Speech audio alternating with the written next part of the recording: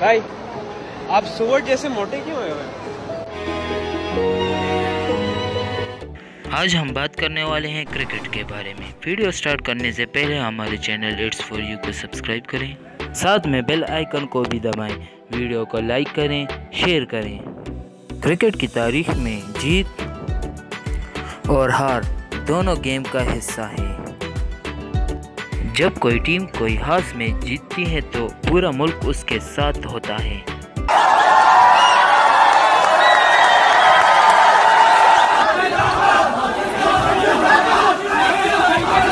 और अगर आप हर मैच जीते तो आपसे लोग खुश होंगे।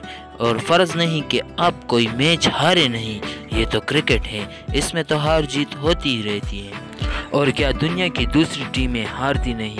वो भी तो हारती हैं। और हारने के बाद क्या लोग ऐसे अल्फाज इस्तेमाल करते हैं?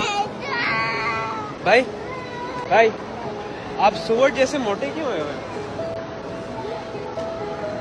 बड़े मोटे हुए हो। बड़ा नाम पाकिस्तान का रोशन किया आपने। सुअर जैसे मोटे हो कम डाइट क्या करो?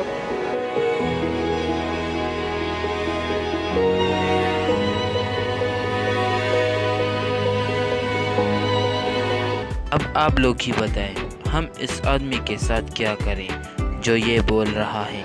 आप सुअर जैसे मोटे क्यों हो? कुछ भी हो वो हमारी टीम के एक कैप्टन है और हमारे पाकिस्तान के हीरो हैं। इस आदमी के साथ तो मेरा मन कर रहा है। ये करना चाहिए। इसके मुँह के अंदर बम डालना चाहिए। कि आइंदा ये ऐसी हरकत ना करे? मज़ीद वीडियो के लिए हमारे चैनल को सब्सक्राइब करें। शुक्रिया।